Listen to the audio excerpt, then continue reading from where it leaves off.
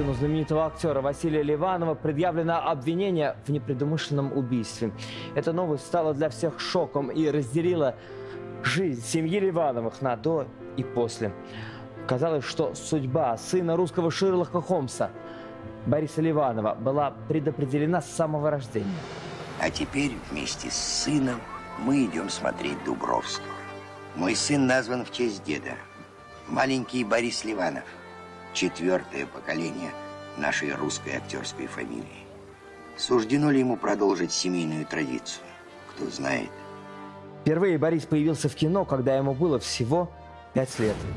Зрители увидели его в роли беспризорника в культовом сериале «Приключения Шерлока Холмса и доктора Ватсона». Что-нибудь еще, джентльмены? Одну сигару на всех, сэр. Курить вредно. А спустя 18 лет он сыграл бакалавра Самсона Караско в фильме «Дон Кихот возвращается». Молодой, талантливый. Тогда он уже был студентом одного из лучших театральных вузов страны. Тебя что, не радует, что перед тобой ученый-бакалавр, получивший награду Соломанского университета? Я рада. Рада. Никогда еще не видел, чтобы так горько плакали от радости. А еще через 13 лет Борис Ливанов оказался за решеткой. Но в той трагической истории действительно очень много темных пятен. Сколько раз, уже находясь в колонии строгого режима, он прокручивал в своей голове, зачем поехал к своей, на тот момент уже бывшей жене Екатерине Хрулевой, что стало причиной конфликта и почему он ничего не помнит. Пока он боролся за жизнь в тюрьме, на свободе родители Бориса боролись за его единственную дочь Еву. Ее мама, та самая Екатерина, страдала от алкоголизма и была не в состоянии заботиться о дочери. Сегодня Ева живет вместе с бабушкой и дедушкой, и вместе с ними она почти пять лет ждала возвращения из тюрьмы своего любимого папы. И он выжил. Благодаря ее письмам и рисункам, на которых папа и дочь снова вместе держатся за руки. Сегодня Борис Ливанов признается, несмотря на то, что свое наказание он отбыл, та трагическая история – это боль, от которой он не избавится никогда. Не хочу произносить это затертое слово «эксклюзив», но он действительно впервые готов рассказать об этой самой страшной странице своей судьбы. Судьбы человека, судьбы Бориса Ливанова. Здравствуйте, Борис. Здравствуйте, вот наконец мы и встретились. Наконец-то встретились, да. Да. Позволите? Да. Спасибо. Здравствуйте. Здравствуйте.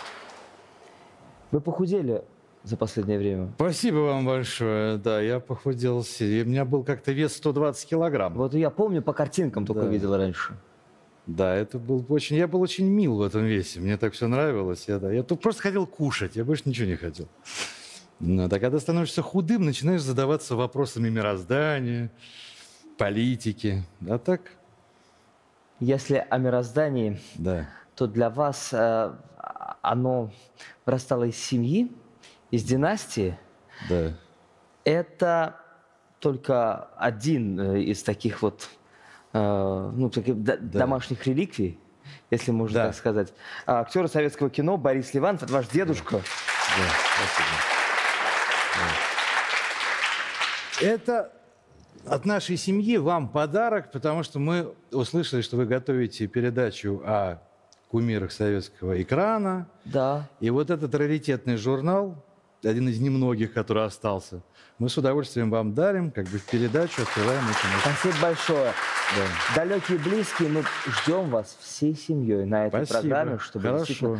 э, прожить судьбу тех, кто сами уже рассказать не могут э, о себе, судьбу Да. тех, кто кого уже нет с нами. Вот Борис Ливанов, ваш дедушка, действительно такая легенда. Ну, не хочу говорить такие общие слова, тем более вам, потому что для вас какая-то легенда. Дедушка в первую очередь, да. Да, я, к сожалению, его не застал. И дело все в том, что он умер в 1972 году, я родился в 1974. Но вот такой журнал, мы сейчас не можем его найти, потому что у нас на даче был ремонт. Вот на таком журнале мой дед написал «Борису от Бориса, 1973 год». Стоп. 73 год, это, это вы уже Он- родились? нет, он был уверен, что я... А я родился на год позже, а он умер за год до этой даты. Как будто послание То есть он, да, сделал такое послание в будущее, поэтому, когда этот журнал найдется, это может быть... А он, он сыну говорил, чтобы Борисом назвали? Он не- внук не, не Василия говорил, он считал, что так и будет. У нас вообще Ливановы, они считают, что так и будет, и так и происходит. Это вот такая фамильная черта.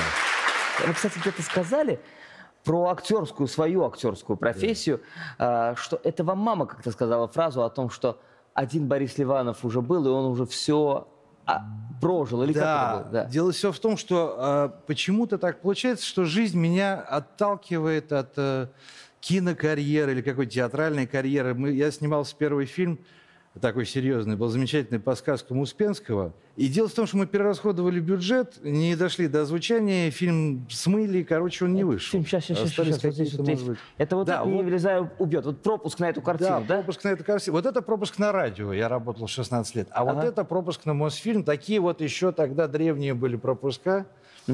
Мы ее снимали. И мои родители решили, что, возможно, от того, что Борис Ливанов уже один есть, то мне нужно взять псевдоним какой-нибудь, там, Борислав или еще что-нибудь. В общем, эта игра продолжается в моей семье уже лет 20. Поставьте, пожалуйста, Шерлок Холмс. а, Вот эта сцена, где а, лучший Шерлок Холмс мира, ну, это уже что сама Вселенной, королева можно. вручила папе. Вселенной, можно сказать. но еще Да. никто Ну, не опротестовывал это еще. А вот вместе с папой в кадре, э, э, не буду э, вам предварять, вы сами посмотрите, может быть, узнаете там Бориса или нет. Добрый день, джентльмены. Мы нашли его, сэр. Мы нашли его. Краснорожий в коричневом пальто. Да, он в коричневом пальто. Молодцы.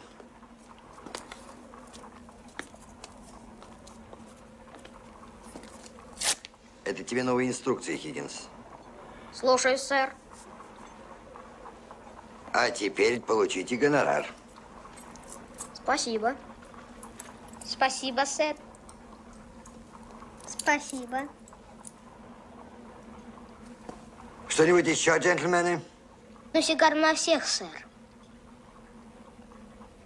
Курить вредно. Видите, какой я худой? Это от курения. Вот этот мальчик в черном котелке, это вы. Да, Вам здесь пять лет. То Вот такое было общение между отцом и сыном, когда отец известный актер. понимаете? Вместо там футболов и каких-то еще. Ну, вообще, какое общение у вас было? Вот там мы живем рядом. И, наверное, мое детство прошло там же, где и ваше. Ну, Тверская и, Да, и, да. и переулки. Да, да. И я знаю, что, ну, совершенно особый э, мир, наверное, в котором вы жили. С вашей первой любовью была э, дочка Виталия Соломина. Да, это был первый роман, момент съемок, да, я уже считал себя... Да, она, да, это Настена, да. У нас была замечательная дружба. Я решил, что я влюбился в пять лет. Я помню, я на даче в каком-то укромном уголке начал ей объясняться в любви, очень страстно и горячо. Пять Долго лет? рассказывал, да, в пять лет, как я ее люблю. Закончил, она решила меня поцеловать, я отпрянул, не понимаю, что она хочет сделать-то. Ну Вот. И потом это как бы такая пятилетняя любовь переросла просто в хорошую дружбу. Ну, мы стали взрослые, и как бы всех образовалась своя жизнь. Она прекрасно танцевала в э, Моисеевском ансамбле, насколько я помню. Сейчас тоже уже взрослый человек, мама и так далее. Но вот это первый был такой Первое опыт, чувство. да, любви, да. Я и сейчас ее люблю очень. Да, Вот здесь да. это уже студенческий билет. Уже студента Щуки. 30 Да. Да, я, я не ошибаюсь, да? Да. Нет, в- а, в- театр Вахтангова, да. А театр Вахтангова. Это один из, да, видимо, двух, потому что я два раза поступал, два раза учился. Щукинское училище было выбрано, потому что там учился отец. Я, так как был очень молодой и горячий, и мне очень хотелось бурной какой-то жизни, я написал заявление и ушел под удивленный вид преподавателей. Но на следующий год опять поступил, чтобы четыре года отучиться на актерском и закончить высшие режиссерские курсы. Я хотел быть режиссером. Но отчислили вас я не- из Щуки Да. как с жесткой формулировкой, без права восстановления. Да, было как бы празднование э, Щукинского училища очень большое. Было куча народу. И все были на веселее, в общем, в принципе. И кто кому что сказал, непонятно. Но вдруг организовалась драка, чудовищная совершенно. Вот. И как бы я оказался в, в эпицентре этой драки со своими товарищами. И как бы решили, что как бы это моих рук дело, и решили, что хватит со мной связываться. Этот фильм, про который мы заговорили, Да. э, «Не влезай, убьет», но фильм не вышел, к сожалению. Нет, жаль, да. Хороший Потом сценарий. был фильм Виталия Соломина Да. «Охота». Да. Когда Виталий Ми- Мефодьевич э, Соломина спросили, почему он выбрал вас на Да. эту роль, Да. он ответил, потому что вы жертва. Да, ну По жизни похоже. жертва. Нет. Что вы потом много, спустя годы вспомнили Ну, эту я фразу. не считаю себя жертвой по жизни, это было бы странно. Но это как бы просто образ такой лирического такого героя, который обязательно должен погибнуть, потому что он такой хороший. Ну как же иначе? Тем не менее, у вас все равно, несмотря на такие роли, уже все равно было вот это внутреннее чувство, что вы не, не актер. Я получаю массу удовольствия, когда репетирую, например, меня приглашали ставить отрывки мои друзья, актеры, чтобы я со стороны посмотрел. И для меня это самое большое удовольствие, которое можно от профессии вообще театрально, актерской, режиссерской получить. То есть я могу показать, я могу подсказать, у меня как бы работает воображение, какое сделать. Потому что есть масса трюков актерских. И все эти трюки вам пригодятся, вы будете использовать даже, даже когда от- отправитесь э, в Лондон учиться. Да. А чего вас родители туда отправили? для того, чтобы выучить язык. И язык я должен был выучить для того, чтобы поехать в актерскую школу в Йорке, где фехтование, верховая езда, актерское мастерство, и вернуться в Россию уже, значит, э, С языком, с и с языком. навыками, которые в Да, профессии абсолютно, пригодятся. да, да. да. Я просто там взвыл, потому что с ними невозможно общаться, они дико все скучные. В результате я сказал, что я просто я не могу просто. Я, я просто не, я совсем не люблю Англию. Прям совсем. Я даже говорить на этом языке не хочу. Родители, может, что-то хотели здесь вас оградить? На, на полгода, это не на месяц, это что-то... Ну как, они не от, от армии, но как бы дело в том, что я вернулся и просто поступил в Щукинское училище уже в 92 году. Вот это первый раз был. Мгм. Вот, прям, прям, прямо из Англии. Поэтому нельзя сказать, что это какое-то ограждение. Потом я поступил в 93 году Щукинское училище. Потом я перевелся в Амхат вольнослушателем, но я там не задержался. Военкомат за мной охотился, но я все время был в институте. То есть они только собираются меня взять, он опять поступил. В результате они так разозлились, что они потеряли вообще мое дело. Поэтому я не попал в армию. Кстати говоря, может быть, и зря. А в какой момент и как а, уже вот вы, вы стали обретать другую профессию? Вот эту профессию. Ну, да, это вот, кстати, Экис, он чем интересен, что они, он подписан актерами, актрисой, которая Да. согласна с этим костюмом. Есть какие-то наброски сбоку, вот руку Андрея Александровича Гончарова. Вы, вы стали все больше уходить в это. Ну да, я делал, да, я готовил какие-то э, эскизы еще. Да, ну так и осталось это увлечение. Но я потом переключился на создание каких-то персонажей это из фэнтези, всякие орки, тролли, гоблины и так далее. И про армию при этом вы сказали, что зря не Ну, пошли. Жалели, правда жалели, да? Что Я не думаю, послужили? что да, потому что я так на себя сейчас смотрю, я был, в общем-то, неуправляемый совершенно. Мной нельзя было руководить, я не признавал никаких авторитетов. Отец был авторитетом? Ну, отец был авторитетом, конечно, но дело все в том, что как бы он не пытался мной управлять. Он считал, что э, нужно показывать пример э, как бы себя самого. Потому что таким примером для него был дед. Он, ну, дело в том, что отец мог ходить в Амхат и смотреть спектакли Бориса Николаевича Ливанова.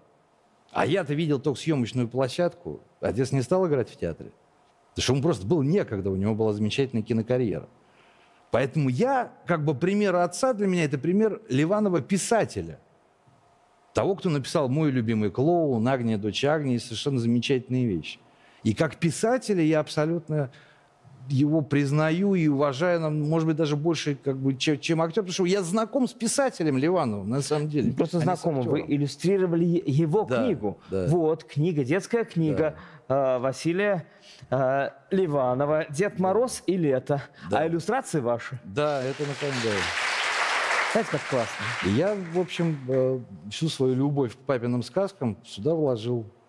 А вот тут есть э, этот рассказ «Кролик с капустного огорода». Вы потом мультик целый э, сделали по этому. Это был первый опыт семейной работы, потому что, да, Семейная работа.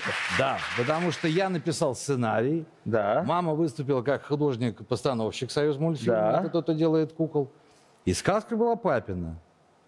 Да. Ну вот как бы мы все втроем сделали как бы сказку. Как-то все так складывалось, все так, все, все так как будто само шло в руки, и успех, и востребованность, и семья, и любовь. Детское все мультяшное, и рисунки, и Абсолютно. радость. И вы говорили такую фразу. Но при этом я всегда знал, что в моей жизни будет очень серьезное испытание. Интуитивно чувствовал, что мне придется пройти через какую-то заваруху, возможно, через войну. Знаете, что интересно? В детстве я сделал себе заказ. Выглядеть с 40 годам мужественным, суровым мужиком, у которого на лице шрамы, за плечами тяжелый жизненный путь. Да. А сейчас вам сколько? Ну, мне практически 45, 44 сейчас, да. Я недавно посмотрел в зеркало и понял, что я мечтал об этом в 5 лет. Я прям увидел. Я думаю, зачем я это желал? Зачем мне это надо было? Но как бы заказ оказался исполнен. Вот вам, пожалуйста, физиономия, и вот вам, пожалуйста, биография. Судьба человека. Вот в этот самый момент, то у этой самой точки, когда, казалось бы, все шло хорошо, начинается ваше бесконечное путешествие в, в жуткую биографию, про которую вы говорите. Символично, что одна из последних вот, работ еще в прежней той жизни, от которой вы отбрасывали как, как горевшую ступень ракеты, Да. была телепередача, вы ее вели на телевидении. Да, да. Год, ну что-нибудь, как самая середина 90-х или начало. Да, их. да, 96 Так и называлось «Бесконечное путешествие». Вот судьба. А, Продюсер программы «Судьба человека» в свое время была продюсером а, программы «Бесконечное да. путешествие». Это хотела открыть вас, Это браво ей. да. э, открыть вас всей стране. А вы через три программы передумали. Но, как всегда, я решил, что у меня так все хорошо. Да. Э, Что, что у вас все хорошо, и что и вы оставили... Я решил, что я хочу быть телеведущим. Это были первые ток-шоу. Я думаю, зачем я буду известным актером и сниматься в фильмах каких-то великих. Дон Кихот. Давайте посмотрим фи- фильм, в котором вы снялись вместе с Да. Жигарханяном. Да. До рождения вашей дочери, э, до еще одного такого грандиозного поворота вашей судьбы. Значит, по-твоему, сеньор Кихано собирается стать странствующим рыцарем? Санчо, да не приснилось ли тебе все это? Но дело решенное. Но это страшная тайна. Поэтому никому ни слова. Само собой. Да-да. А когда все это произойдет? Мы хотим пой... Не-не-не-не, не, не могу. Не-не-не, не-не-не, не могу, не могу. Я не могу, не могу, понимаешь, не могу. Это произойдет. Секрет. Да, жаль, что мне приходится отлучаться из нашей деревни. А? Кажется, я пропущу много интересного. А что я тебе говорил? От этих учений одни огорчения.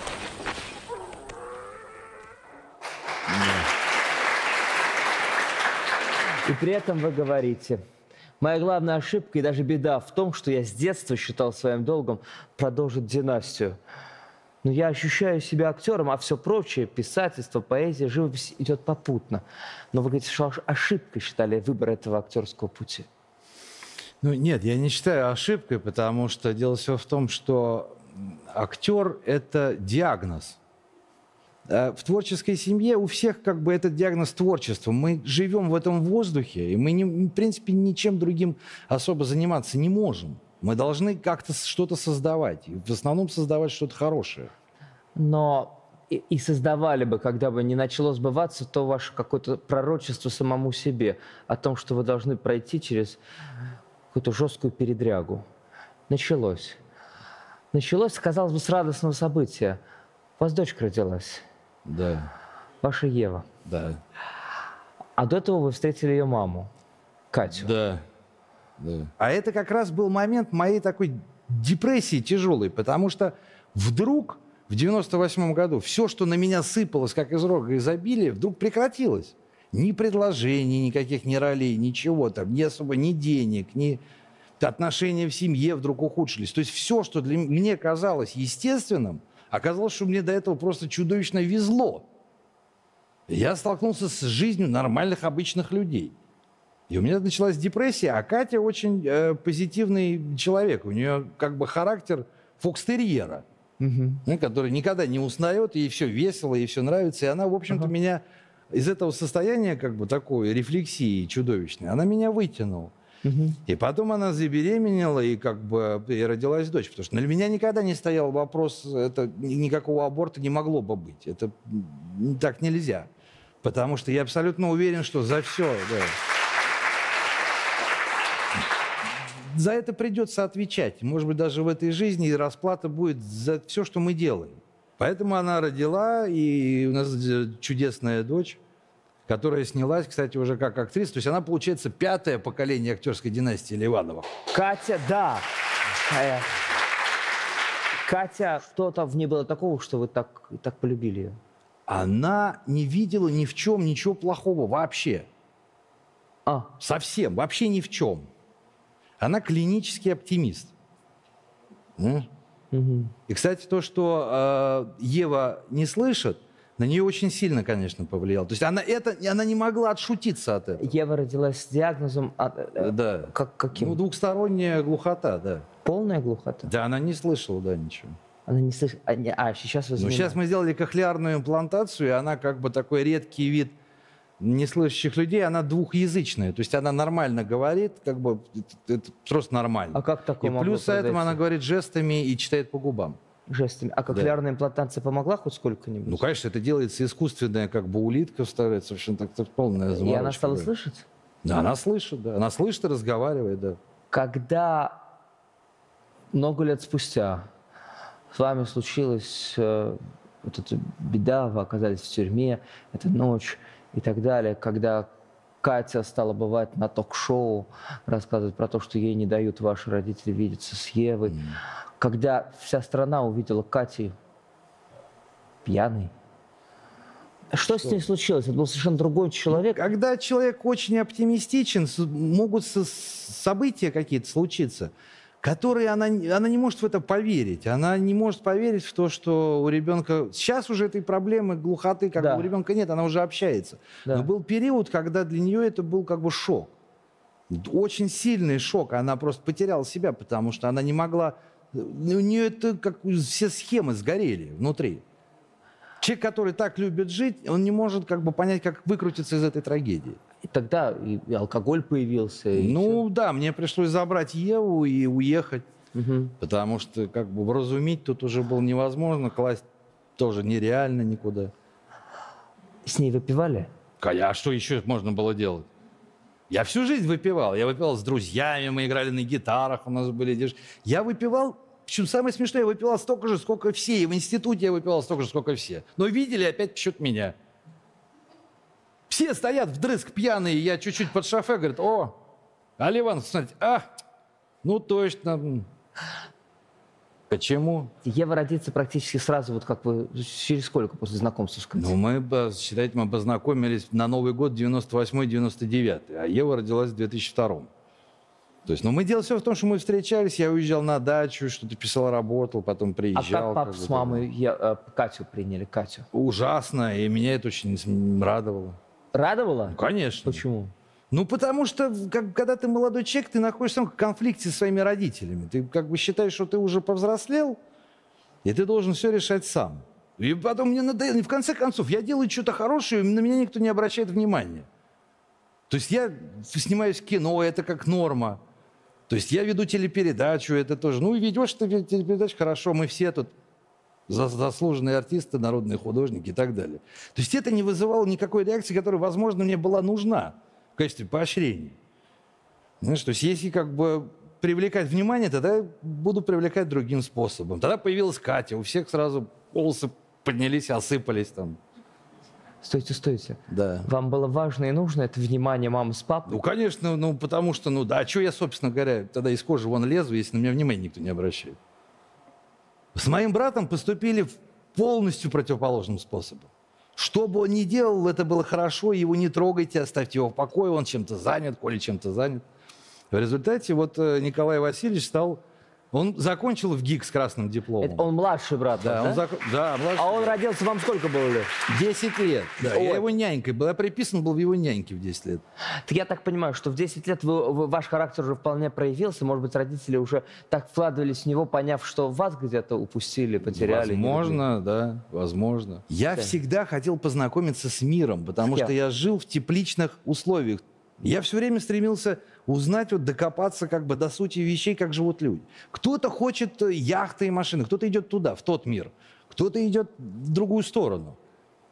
И я как бы дошел до дна другой стороны. Все, я, я все это изучил, мне стало неинтересно. Я вышел. Дошел до дна другой стороны. А Да. вот об этой жизни за колючей проволокой, о том, как вы там оказались, что вам там открылось, какие действительно строки, я прочитаю то, что вы писали оттуда своей дочери. Вот об этом впервые, кстати сказать, на телевидении, после того, Да. как вы освободились, впервые об этом через пару минут рекламы, Борис Ливан.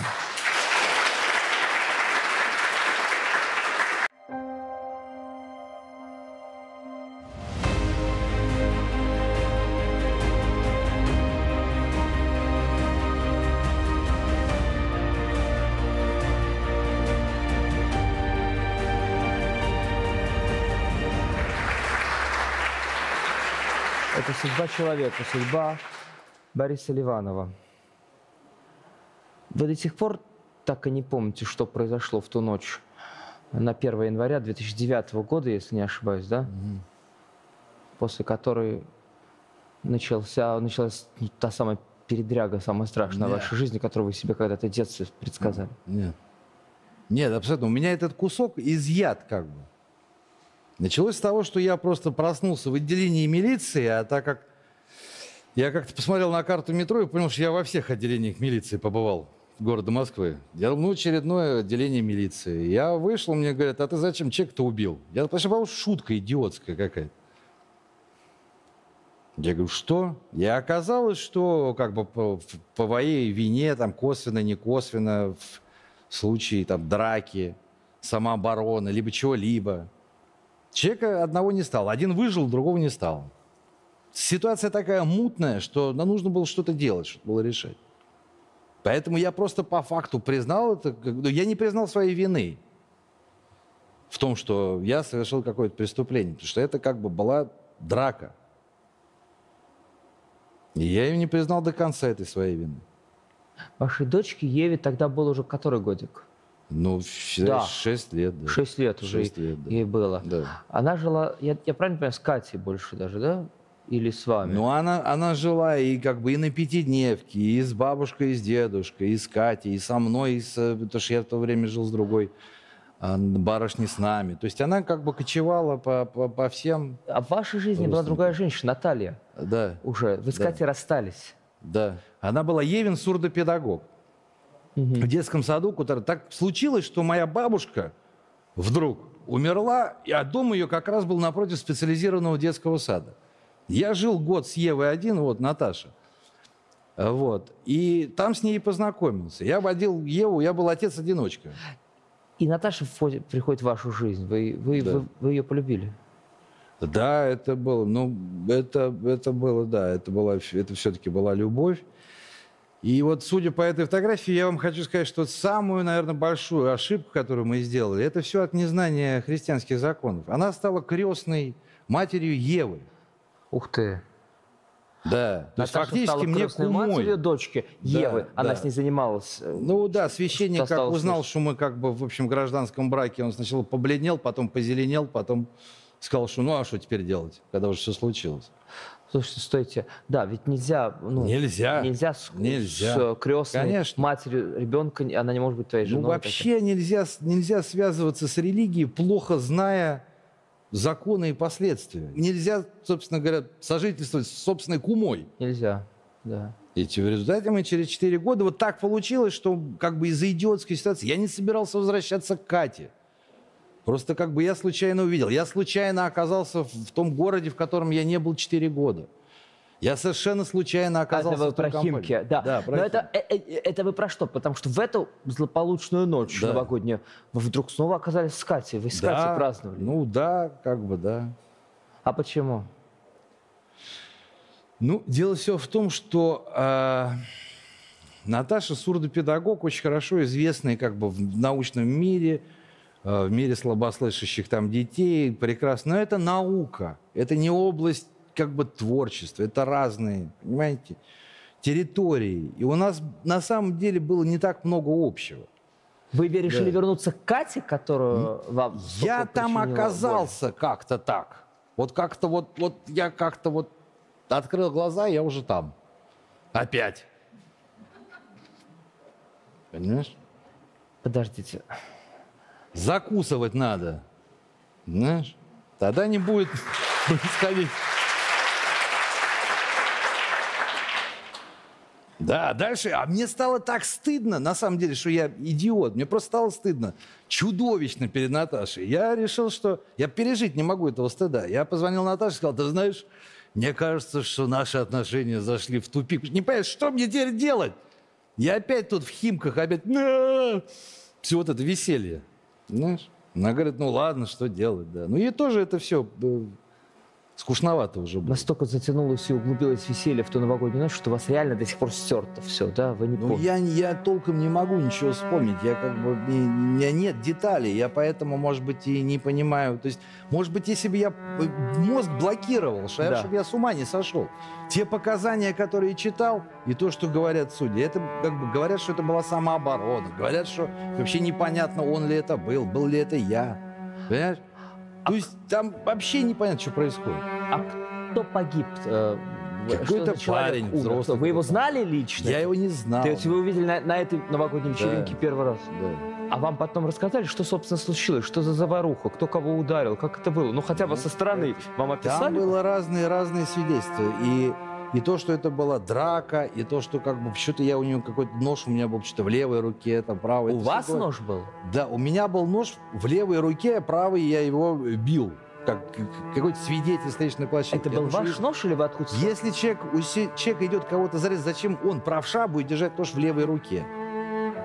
Понимаешь? По Кате говорил, что я там говорил, что это самооборона, что я отнял этот нож. у нее.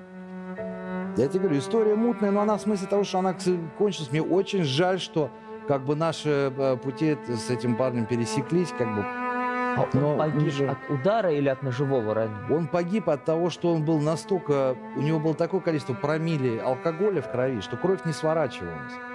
То есть, если бы он был бы трезвый, это было бы порезы. А дело все в том, что так как она не сворачивалась, она была как, знаешь, она текла и текла как бы внутрь какой-то раны. И все, и это, от этого как бы он и погиб. Уже там в реанимации спустя какое-то время. Понимаешь? Это очень трагично. Это на самом деле как бы трагедия. Ничего с этим невозможно поделать. А как- вернуть нельзя. Если можно было бы вернуть, этого бы, конечно, не произошло Как звучал ваш приговор? причинение Смерти по тяжких да, телесных повреждений, повлекшее за собой смерть. да. И в эту секунду, когда это прозвучало, когда вам назвали, какой срок вам? Мне сначала назвали срок, э, по-моему, 10 лет за убийство. Потом сказали, какое-то убийство, если он его знать не знал. Потом переквалифицировали статью эту в другую. Знаешь? Родители наверняка на суде, да, тоже были? Были, мама, Они были, да, и журналисты были, и родители были. И каково это слышать? Все, вот на глазах полумира. И мама с папой рядом. Вам, человек, который вот Да жил ты совсем другим детством. Да я как бы 10 лет, да, но ты уже находишься в тюрьме. Ну, понятно, вы в Осознание СИЗО того, что этого, да, всё это 10 время. лет про- пройдет в тюрьме, оно уже у тебя этого нет. Ну, как бы 10 лет, да. Дальше надо что-то делать, надо что-то решать. Надо писать какие-то письма, требовать каких-то пересмотров дела и так далее. Ну, так, в общем-то, это как бы произошло и свершилось. Вот, письмо, которое вы писали уже оттуда, из колонии. Это была колония строгого режима причем, да? Пишите и рисунки рисуете. Привет, моя любимая, прелюбимая умница и красавица, дочка Ева. Спасибо тебе за письма и рисунки. Я их всегда читаю с большой радостью. Очень скучаю и очень хочу тебя увидеть. Но для этого надо, чтобы мама Катя отпустила тебя ко мне с бабушкой Леной и дедушкой. Катя не отпускала? Катя ее забрала, да, и они как бы бодались все с Катей по поводу Евы, потому что Катя хотела воспитывать ее как бы по-своему сама, потому что был период времени, когда я ее забрал у Кати. Да. А, Вот. э, И Еву туда-сюда дергали, в общем. Ну, ничем как бы хорошим это не кончилось. А вы когда-то, когда Ева только появилась на свет, вы не спрашивали себя, э, почему это так часто родители спрашивают, почему это с нами произошло, почему у нас родилась такая девочка, которая э, родилась глухой, почему? Такое бывает иногда по медицинским причинам. Например, когда э, и пьющие родители Ну, тоже... она родилась по медицинским причинам, потому что, а, когда Катя была беременна, было такое средство, запрещенное э, значит, к употреблению, в одном проценте случаев да- дающее глухоту новорожденным. Так, так. И как раз Ева попала в этот один процент. Я не знаю, что там, почему его лекарство применяли, какое-то какое-то лекарство, да. Зачем И она пила? Нет, а, это, в, это медики укололи в роддоме. Понятно. И это в момент того, когда это лекарство было запрещено. Мы хотели выяснять, но потом как бы уже было без толку, потому что ну что делать, искать их все, что с ними делать? Вы пишете дочке. Сам я смогу отсюда уехать только через три, в скобочках три прописью, с половиной года. Это еще столько же, сколько уже прошло, плюс еще один год. Время летит быстро, по фотографиям вижу, что ты растешь, моя любимая. Твоя фотография – это где ты сидишь около каменного фонтана. Самое главное, не грусти. Ведь когда грустно, время тянется очень медленно. А нам с тобой надо поскорее увидеться и обняться. Сходи с мамой в театр мимики и жест. Так. Это театр для глухонемых. Ж я прочту, да? Может, я прочту, как я это писал. Если бы я так писал, то все бы рыдали. Ну, и что? Что у тебя момент? Сходи с мамой в театр мимики и жеста. Я очень надеюсь, что ты, когда вырастешь, станешь там актрисой.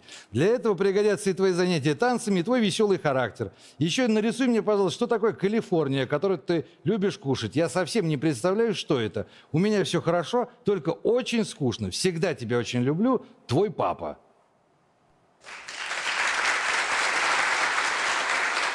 Вас привезли в эту, в эту колонию. А где вы сидели? В Россыш, город Россыш. Кем вам поначалу этот мир открылся? Что за люди там? Где? В колонии? Да. Они знали, кто вы, что, вашу Да. фамилию, вашу семью? Знали, а что? Там, там не важно, кто ты. То, в смысле, там не важно, не важно, кто ты в плане того, кто твои родители. Там важно, кто ты есть сам. И что ты из себя представляешь. И ты либо как бы помогаешь общему выживанию, либо нет. Я работал там в клубе, потом я работал там в санчасти. А что надо было делать в клубе и в санчасти? В клубе нужно было создавать программу, готовиться к «Калине Красной». А вот Да, вот программа, да. А, это, это, ну что это, программка, да. Да, это вот Программа осталось выступлений коллектива осужденных ФКУ и К-8 для отборочного тура фестиваля «Калина Красная». А там, Да. Там самое главное, это кто ты есть, на самом деле, кто ты есть. Вот Там какой ты есть. чеки, все от тебя отлетает, у тебя больше ничего нет. У тебя только стержень вот есть и все. А вы сами себе, в, собственно, Да. в собственных глазах, вы начинаете лучше себя самого понимать, кто ты есть? Ну, Да. я там понял, кто я есть. Я Кто? там понял, что я могу, что я не могу. А что вам там открылось про себя самого? Что не зря меня в детстве били. М, Меня готовили...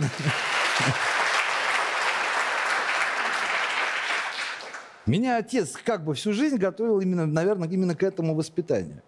Потому что трагедия была бы, если бы меня, идиота, зарезали на лестничной площадке, понимаешь? А не в ходе драки я выжил какой-то. Вот в чем дело. Я попал туда, куда стремился попасть, и увидел то, что я хотел посмотреть. А с папой, с мамой вы все это время как общались? Они приезжали к вам туда? Да, они приезжали, есть, теле- как бы есть телефонные звонки уже, сейчас есть какая-то скайп-конференция, уже можно общаться. Да, они приезжали, мы как бы общались некоторое время. Как они держались? Ну, они, они, они думали, что я нахожусь в каком-то одище вообще. Понимаешь? Такие, а, как ты? там?» Да нормально, я, я только что это сам делал что-то. Чего? Понимаешь? Я говорю, привет, рад вас видеть. Я занят, просто, да давай, что, что, что случилось, что надо поговорить. Ну, как? И что там? А папа все это время, используя свое имя, связь, возможно, пытался сделать хоть что-то, чтобы облегчить ваш быт, там, чтобы сократился срок. В общем, ходатайствовать, обивать пороги и так далее. Нет, ничего не делал. Был адвокат, который просто заставил пересмотреть это дело, и все это было как бы решено.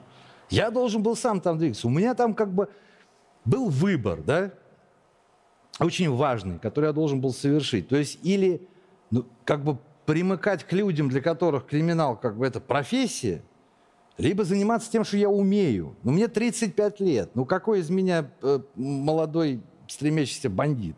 Зачем я там нужен? Нафиг я там в таком качестве нужен? Если я могу помогать клубу, совершенство, делать какие-то интересные программы, еще что-то. То есть как бы заниматься тем, чем и занимать, развлекать людей. Я выбрал этот путь. Больше того, в это самое время вы продолжаете работать, писать, вы Да, продолжаете блин. издаваться. Да. На фестивале вот в этом вот, «Золотой Витязь» вы получаете вот этот диплом за свои стихи. Да. И Вы сидите в тюрьме. Да. Вам папа привозил новость о том, что у вас диплом. Да, папа мне приводит книжку и говоришь, вот видишь, вот, вот твоя книжка вышла. Я говорю, блин, спасибо. Я вообще сам хотел сидеть в магазине Москва и подписывать их всех. Ну, Понимаешь? так Спасибо, что издали. утешал, Раньше да. нельзя было, до того, как я сел, помочь ее издать. Вот, вот тебе подарок. Я говорю, зашибись подарок. Спасибо большое. Я видел, поскольку мы, я вам еще раз говорю, соседи с Василием Борисовичем, как он постарел за эти годы. Резко сдал. И думаю, что и страдался. А вы когда-то с отцом говорили а, на эту тему честно и прямо вообще вот про ваши с ним отношения? Про А что ваши у нас отношения? отношения с Это родителями? мой отец, я его сын. Ну, каков поп, таков и приход. Все нормально. Я, я как бы был в ситуации, в которой стало ясно, кто я такой. И как бы воспитывал меня или не воспитывал. Превратился я в мужчину или не превратился в мужчину. Или сдался я или не сдался. То есть Ливанов я или не Ливанов? Ливановы не сдаются не потому, что это очень... Мы не умеем. Ну, мы не умеем сдавать. Надо тысячу раз надо было сдаваться. При этом, при этом вы знаете, что все это время они бились за вашу дочку, за свою внучку, за Еву. Да. А, и, собственно, весь мотив прихода той же Кати и, и ее мамы на телевидение, это был в том, что вот дочку оставили бы с ней. Да. А, и Василий Борисович, я знаю, что это очень остро э, переживал, все, что происходит. Но так или иначе, Ева росла с мамой, с папой, да? Вот как, как здесь, да? Ну да, потому что, да. Вы вышли а, по, по УДО, условно-досрочное Да. освобождение, насколько раньше срока? Я должен был отсидеть 8 лет, а отсидел я 5 лет и 8 месяцев. За все эти почти 6 лет в тюрьме Наташа хоть раз появилась у вас? Ваша Наташа Сурдова? Я не хотел никого видеть. Я понимал, что мы отношения наши кончились, в принципе, и как бы можно было на это не надеяться. То есть я не выходил из тюрьмы, знаешь, в предвкушении шесть не встреч. Я понял, что дай бог у нее будет своя жизнь, и вроде дай бог она как бы случилась. Но вам надо было вы- выйти и узнать о том, что Наташа уже живет совсем другой, что она вас не дождалась. Ну, я как бы предполагал, что так и будет. Я только, ну, для меня это было облегчение, потому что мне бы ей пришлось бы объяснять, что тебе надо жить другой жизнью, наверное, все-таки. А, то есть это- ты это не Она было не так. ждала меня, это же было понятно. Но это же, это чувствуешь, если человек ждет, он делает какие-то другие поступки, пишет письма, Да. приезжает, понимаешь? Да. Меня ждала там Катя, которую еле утащили от колонии. Катя? Которая, да, штурмовала ворота колонии одна. Ей нужно было со мной увидеться, ее наряд еле отволок. Понимаешь? Ну, как бы, вот. Поэтому, как бы, ты понимаешь, разница между тем, кто как бы ждет, кто не ждет. То, что с вами произошло, это э, круговорот ада, в котором ведь правда, ведь по-хорошему, ну правда, в котором дна. Вы сами сказали, я хотел нащупать это Ну, дно. да, но и дело все в том, что, как тебе сказать, есть как бы яхты, да, алмазы, золотые унитазы, понимаешь, и есть как бы пайка еды, и деревянная кровать и так далее. Как бы, ну, в принципе, это... Хотя, с другой стороны, может, вот так. От Может тюрьмы- быть, яхты и золото — это дно, Да, духовное дно. конечно, конечно. Да я счастливый человек.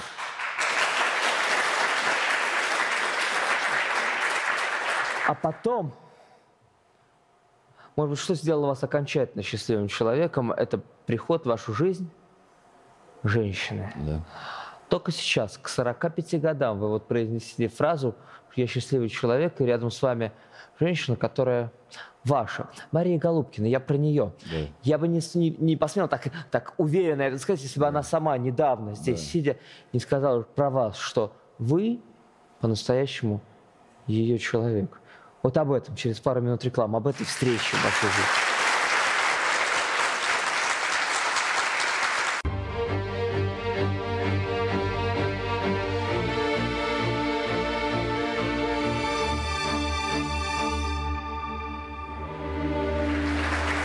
Судьба человека, судьба Бориса Ливанова.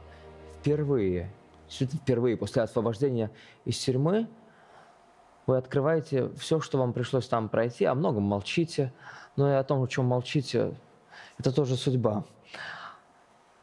Вы же художник, а, и хороший художник, кроме всего прочего. И эта картина написана еще до приговора. Картина написана Пикассо, это моя копия. Копия бы, Пикассо. Да. Если бы я был бы такой художник, я бы, наверное... Вы сказали такую фразу, что вот всему свое время, и эту книгу, вот эту вашу книгу вы бы хотели, где, где есть ваши картины, вот они здесь, вы же и художник по костюмам, и вот все эти картины, и ваша графика, и ваши стихи, вы бы хотели это увидеть все много раньше. Глядишь, по-другому все сложилось. Но ваши родители, мама с папой, это тоже отношения. Они, пока вы были в тюрьме, эту книгу издали, хотели вас порадовать. Да. Ты заснула, мирно дышишь, день, следы на берегу. Я люблю тебя, ты слышишь, в сне твоем к тебе бегу. За дождливым майским утром ждет нас мокрая Москва, холодно и осень, будто вновь вступившая в права. Обещай мне летней ночью, темной, у костра сидеть, дай мне слово, только точно, никогда не умереть. Это кому вы написали? Ну, они как бы написаны все никому, с одной стороны, с другой стороны, если возникает настоящая любовь, тогда ты понимаешь, кому ты это все написал, для кого и зачем, и что ты хочешь как бы передать. Недавно Да. Мария Голубкина, известная всем, сказала похожие слова про вас, как про что-то очень настоящее, что случилось в своей жизни, здесь, в судьбе человека. А вы ведь знакомы много-много-много лет. Ну нет, мы знакомы как бы... Мы познакомились очень давно, потом на огромное количество лет расстались. Да, вот эта фотография, характеризующая наши отношения, в общем, в принципе. Уже после освобождения вот вы вышли. Ну это да, вот мне отвинчивают голову за очередную дерзость какую-то. Любовно. У В- нас прекрасные отношения, невероятно сложные. Послушайте, И я сам- жертва домашнего насилия еще к тому же. Теперь, да. вот вам нравится. И мне нравится. Ну, как сказать, у нас должна была быть фотосессия в одном журнале глянцевом. И мы пошли, а я что, я нервничал, потому что, ну, это как бы профессионально, я же понимаю, что это, это прекрасная актриса. То есть я как бы свой уровень, это высшая лига, а я из какой-то этой самой самодеятельности народной по- появился. И я что-то психовал, психовал, ей надоело, и она мне дала коленом под зад. Но она, у нее второй взрослый разряд по конному спорту. То есть она с конями привыкла общаться. И попала точно в копчик. У меня так шея на 2 сантиметра сразу вылетела вперед. Я перестал психовать как-то. Просто очень все болело потом, когда сидеть. Ну, В фильме «Небо и земля» вы ее увидели, да, пе- впервые, давным-давно? Да. Как бы я знал, что это как бы жена Николая Владимировича Фоменко, группа «Секрет», как бы замечательная и так далее, и как бы счастливая семья. Я просто ее отметил, она стала как-то моей любимой актрисой, потому что она очень точная. И она очень и очень глубокая. И она на самом деле клоун, и клоун, только единственное, что клоун наимудрейший человек, конечно, все-таки. Для того, чтобы быть клоуном, надо быть мудрецом. Да. А как уже вы встретились в этой нашей, вашей новой жизни после освобождения? Как вы встретились? Мы стали переписываться, но дело в том, что у Маши она не Ты любит просто в писать. соцсетях? Да. Вы, вы ей написали просто? Да, она выложила какой-то ролик с Андреем Александровичем Мироновым, какой-то смешной этюд. Я написал, что это замечательно, что вот это вот актерское пропадает, как бы актерские какие-то трюки, они забываются, потому что их нужно как-то передавать. А она просто взяла, позвони и номер. Она не, не- не пишет толком. Ага. Она не, не, не нравится. Долго, тяжело, очень много энергии. Послушаем саму Машу Голубкину, что она говорит о вас, о ваших отношениях. А потом появилось другое, недавно уже совсем про Бориса Ливанова, когда стали говорить, что вот семья. М. Ты знаешь, как ни странно. Как ни странно, семья не семья, но это, Это, сын любовь. Василия Ливанова, кто не знает. Да. с трагической такой личной историей тоже. Он сидел в тюрьме же какую-то. Да, он в колонии строгого режима. Я им горжусь, зайка. Да, это на самом деле я его очень люблю. И это правда. Но жить мы вместе не можем. И это тоже правда. Потому что ам, Я просто... за- Он говорит, ну а что такого? А я знаю, как будет, понимаешь? Да. Ну, его и так люблю, мне и так хорошо. Ну, что, я могу же любить и так, и издаля. Я, я говорил, что Ливановы не сдаются, да, потому что не умеют, да? Кажется, я это уже упоминал, да. Но я могу сказать одно. Мне понадобился весь мой опыт жизненный, включая колонию строгого режима, не в последнюю очередь, чтобы просто ее внимание привлечь и хотя бы какое-то время удерживать. Весь. До последней капли. Поэтому я благодарен судьбе, потому что без этого меня, она просто меня бы не заметила. Любовь нечаянно нагрянет. Да, когда ее совсем не ждешь. Да, Это она, любовь. да. А мама с папой знают уже? Да, у них прекрасные отношения с моей мамой и с папой замечательные. Вы Вообще, совсем- я могу вот что я скажу, что то, что Маша Голубкина, Мария Андреевна Голубкина сказала, что это любовь, и она меня любит, это моя самая большая награда в жизни. сказала тогда, когда вы произносили страшные на самом деле слова. Что? А что ты делал в жизни, кроме того, что веселился, заводил романы, пел вместе с друзьями под гитарой и при этом все время хотел мирной и тихой семейной идиллии? Мои друзья говорят, что у меня интересная жизнь. Не знаю, не знаю, но скучно мне никогда не было. Это страшный вопрос, когда в конце всего, при стольких дарах, талантах, э, сил, здоровья, сколько у вас было, вы такую фразу представьте, а что ты сделал в жизни? Ну да, потому что предстоит еще много чего сделать. Моему отцу 83 года. Он только что закончил работу как режиссер-постановщик над большим художественным фильмом «Медный всадник России».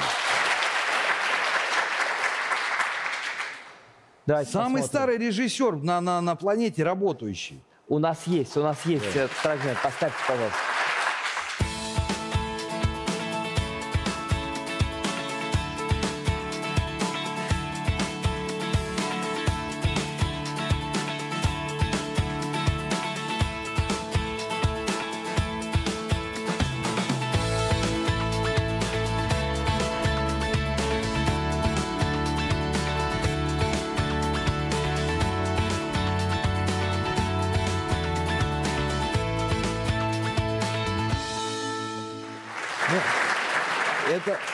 Кадры не фильма, а со Это- съемочной да, это- это площадки. то, да, нужно понимать, что это съемки. да, это не то, как будет выглядеть картинка, но тем не менее а, оператор э, Николай Немоляев, которому тоже за 80, Геннадий Гладков, которому за 80, написал прекрасную музыку к этому. Поэтому как бы вопрос... Надо себе задавать вопрос, что ты как бы сделал, когда тебе 44, да? Понимаешь? Но дело все в том, что на Но вы- самом... в, в этом фильме у папы снимаетесь вы, ваша Да. дочь. Да. Еще одна, это Мама работает над костюмами, как бы работала, помогала с все костюмами. налаживается. Да, Если бы вы нынешний могли обратиться сегодня Да. к себе самому. да. И вот как то письмо, которое вы писали своей дочке из тюрьмы, написать письмо самому себе, только вот этому молодому парню, который только начинает свой путь. Конечно, еще ничего, ничего не знает, что его ждет. О чем вы предупредите, что посоветуете, от чего отвадите? Может, о чем-то конкретном в жизни? И этому молодому человеку, как бы, я бы сказал, оставайся в Англии, идиот. Я бы там остался и получил бы какое-то образование, и уже как бы то время, которое я здесь потратил, когда здесь был какой-то хаос непонятный, вообще не 90-е, вот эти лихие, не- неизвестно что, я бы там проучился и вернулся бы в нормальную страну, и, возможно, бы все бы встало на свои места. А потом вернулся Я же не сюда, и все сложилось бы по-другому. Конечно. Возможно бы я бы сразу бы поехал к Марии Андреевне Голубкиной из Англии. заработать. Сразу. Лучше поздно, чем никогда. Да, да. Это была судьба человека, судьба Бориса Ливанова. Все? Спасибо вам большое. Спасибо.